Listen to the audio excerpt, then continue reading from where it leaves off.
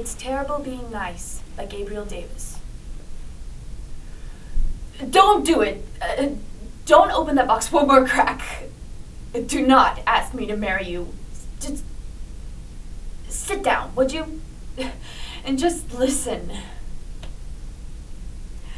I can't let you do this to me. I mean, before I met you, I was so mean. I mean, seriously. No one actually liked me.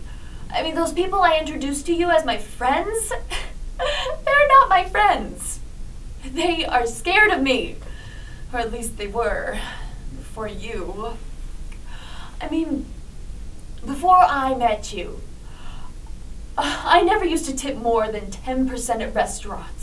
I, I never said please or thank you. I never smiled or laughed at anyone's jokes but mine.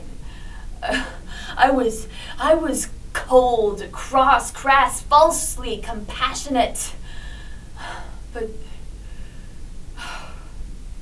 since since I met you, uh, I've started to feel warm inside, fuzzy, like I wanted to stroll through the park and whistle.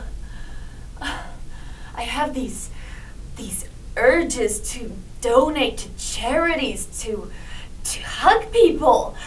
Uh, uh, since I've met you, I have given nearly ten dollars to a homeless man and helped three old ladies cross the street, and I actually bought one of my so-called friends a present at full price, and I knew she'd like it. Don't you see? Don't you see? You've made me nice. And I'm so scared that you're going to open that box and ask me to marry you, and I'll just nicely say yes, and I'll be nice for life. I'll be stuck singing Kumbaya for the rest of my days, and I'll, I'll, I'll give back to the community. I'll give to the, the Salvation Army, to the Make a Wish Foundation, and I'll do it anonymously. So, so don't do it. Don't do it. There are millions of nice people in the world. They don't need me to. I am mean and I want to stay that way. So so I am asking you, I am begging you. Please don't marry me.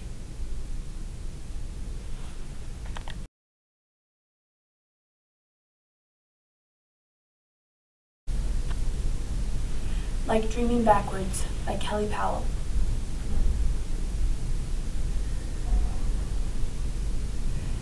She had chronic depression since she was 12. Her father had depression too, and her sister.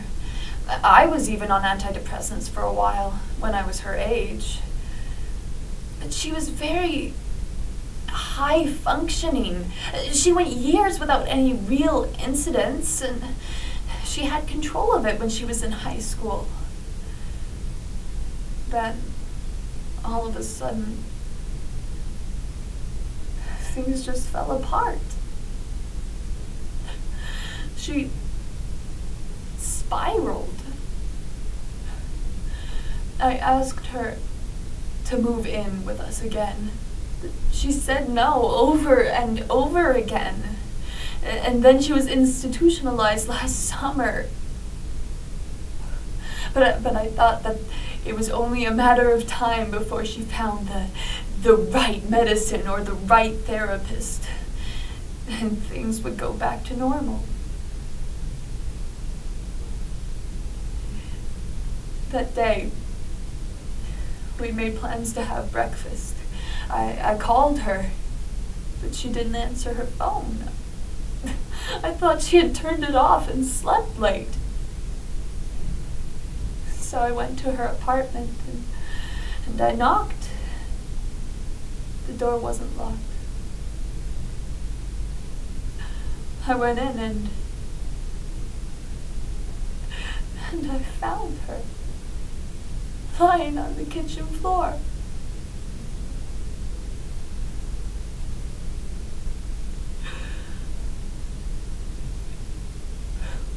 Why didn't she come to me?